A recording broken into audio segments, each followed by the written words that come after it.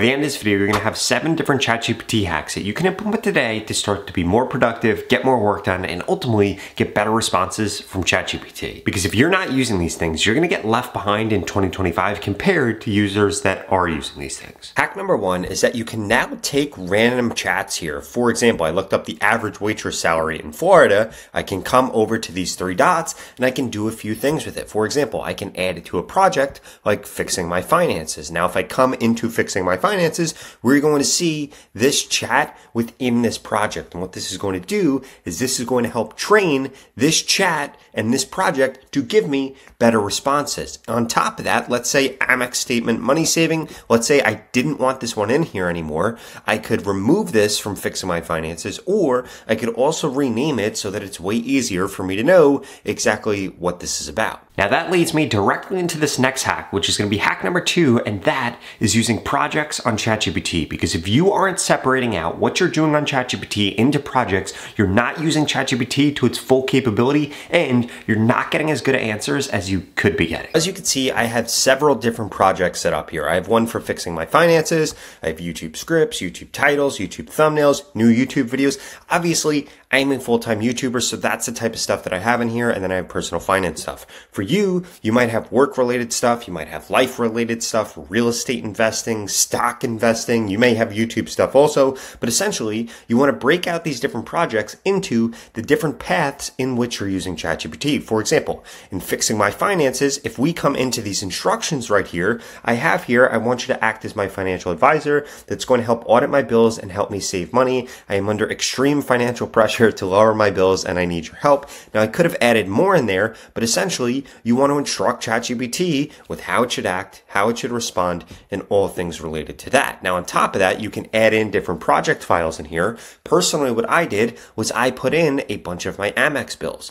Now what you can do is export all of your bank statements, all of your credit card statements, all of your investment account statements, put them all in here, and now ChatGPT is going to have all that information and can reference that information. And in addition to that, if you go throughout your random day, guess what you could do? You can now add things that are relevant. For example, I was looking up an ETF. This is going to be relevant for me to add into fixing my finances. So I am going to add this in here and you're going to be able to accumulate all that stuff so that you make ChatGPT hyper fixated on just this one thing that is going to allow you to get better responses no matter what you're doing. Trying to fix your diet, trying to train for a 5K, or even if you're also trying to fix your finances. Hack number three is if you come into a chat on ChatGPT and you use et, you could actually summon a bunch of different GPTs, any ones that you have used recently. For example, I have this viral video one, I have a video SEO one, I have a presentation one. And if you come down, you'll see that I have a bunch of them. This will also allow you to summon your own GPTs that you have created yourself. And if you don't know what GPTs are,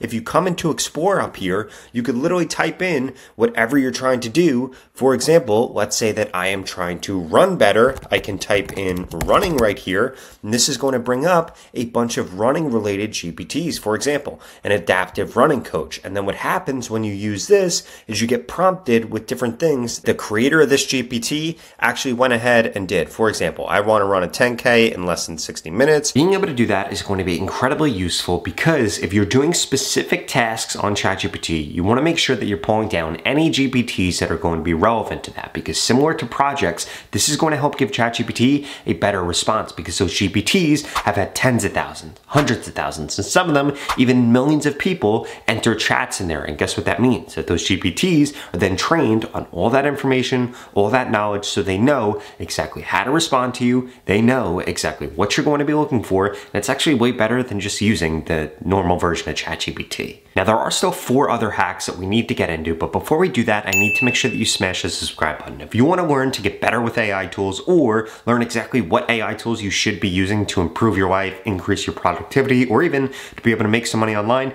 I literally upload three videos a week that cover all of these topics and you are not going to want to miss them. Number four, and this is going to be a complete game changer for 99% of you, is that you need to stop prompting ChatGPT and instead you need ChatGPT to prompt you. I'm sure that you've heard the term before, you don't know what you don't know. Well, guess what? ChatGPT doesn't know what it doesn't know unless you ask it what it doesn't know. So what I want you to start doing is I want you to tell it what your goal is, and then I want you to ask ChatGPT to keep asking you questions until they have all the information that they need to give you a good answer.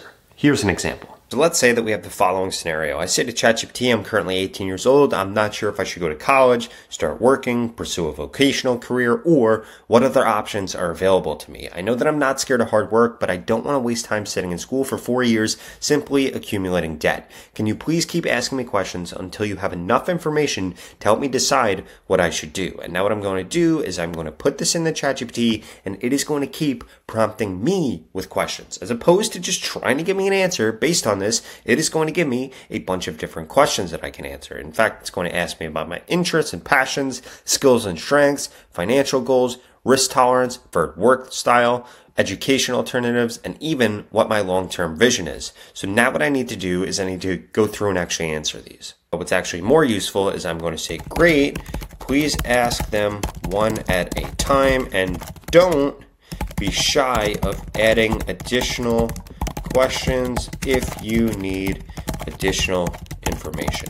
Again, so instead of just trying to get all the information that you could get from a single prompt, you should be doing this because this is going to teach ChatGPT way more that it needs to know. For example, what activities or subjects excite me the most? I love AI and I love making videos about how to grow on YouTube, Instagram, and TikTok. I'm fascinated by technology. And then what it's going to do is it's going to say, great, I have that in my memory now. I need to know the answers to this question. This is going to keep going back and forth until they have the appropriate amount of responses from you. And as you can see, this just updated the memory right here. But there are still three other hacks that you need to be aware of, and they're only going to keep getting crazier and crazier. And if you're not doing these things, I cannot emphasize that enough, you're going to get left behind in 2025. So hack number five that 97% of people with ChatGPT didn't realize that they could do is they can actually come to sora.com slash library, and now they can use ChatGPT to actually create videos. Now look at this. You can do several different things here. First and foremost, we could change it to how many different variations that this is going to give us. Secondly, we could change to the duration of video. We can change the quality of video that we're going to get. We can change the way it's going to be created. Do we need it 9 by 16? Do we need it landscape? Do we need it one-on-one?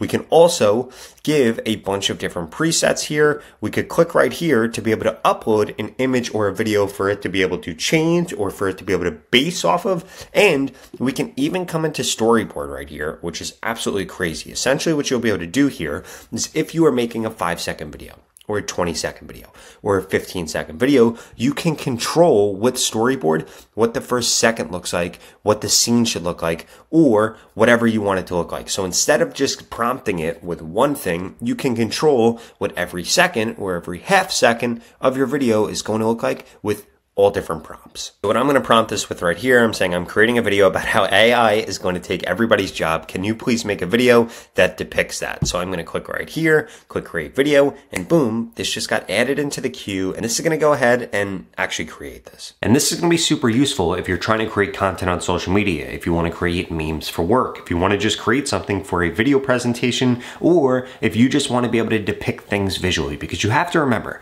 the far majority of people out there identify as a visual learner, which is why you want to make sure you're adding visuals like this into whatever you're doing whenever you're trying to teach somebody something, or if you're just trying to create some cool video or visual representation of something, or just be creative when it comes to using AI. Okay, so now what we can see here is this actually went through and this created a few different videos. So all we need to do is click on this and now we'll be able to see this video and we'll be able to do a bunch of different things here. So as you can see, there are a bunch of empty desks and instead of humans in those desks, they are now robots here. Now we can do several things here. For example, we can edit the prompt, we can recut this, we can remix it, we could blend it, we could loop it, or we could come into view story here. Now, what coming into view story here does is actually shows us what Sora was trying to create at each different second of this. And we can come in here and we can edit and change this. For example, I don't think that this video had enough movement in it, but if I come in and extend this to be one second and then change the next second and then change the next second and then change the next second and then change the next second,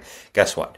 Now I'm going to have a way more interactive video. Hack number six is going to be making sure that you don't bring too many biases into ChatGPT and the content that you are actually going to receive from it. So if I come up here, I come into settings, I move me out of the way right here, and then we come into personalization, we're going to see in here memory. Now, if we click on manage right here, we're going to see a bunch of things. For example, I am not 18 years old, so I'm going to go through and I'm going to forget this because otherwise ChatGPT is going to take that into consideration with everything that they tell me, and that would be wrong. So you need to make sure that you go through here periodically. I wouldn't do it every day, but I would go through this on a weekly basis, a bi-weekly basis, and make sure that you're deleting a lot of the memory. Now, if you're ever going to do something and you don't want ChatGPT to save any of the memory, or you don't want ChatGPT to remember whatever you told it, kind of like an incognito window, what you would want to do is you want to click up here to open up a new chat. You want to click on here and then go to temporary chat right here. Now, this is going to give you a chat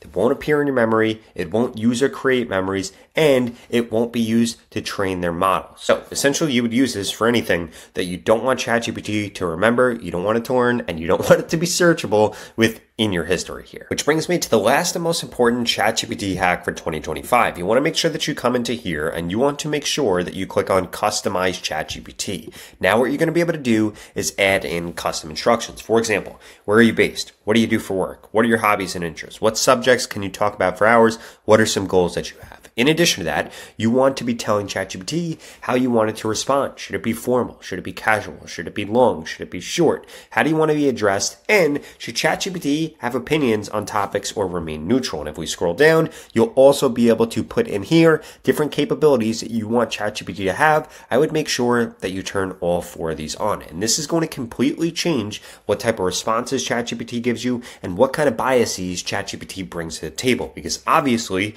these LLMs are going to be biased. All of them are. So you need to make sure that you combat that so that it can give you the best responses possible and have as much information and context about you as possible. Because if you are not customizing your ChatGPT, you are going to get left behind in 2025. In addition to that, though, you need to make sure that you aren't only relying on ChatGPT. I actually think Gemini 2.0 is way better than ChatGPT, which is exactly why I created this video right here that shows you 11 different hacks that you can use with Gemini today that are going to make you more productive, make more money, and just ultimately improve your life. What are you waiting for? I'll see you over there.